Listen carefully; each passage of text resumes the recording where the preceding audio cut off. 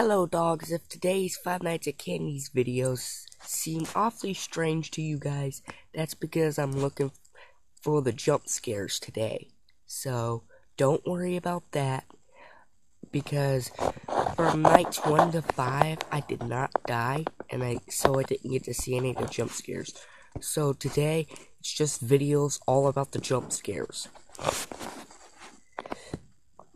And I'm even gonna I'm even gonna die at night sick to see the rats jump scare because we already saw the cats jump scare.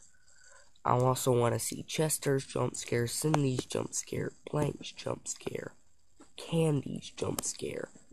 Penguin does not have a jump scare, but he does deactivate your cameras. And so that's it for today.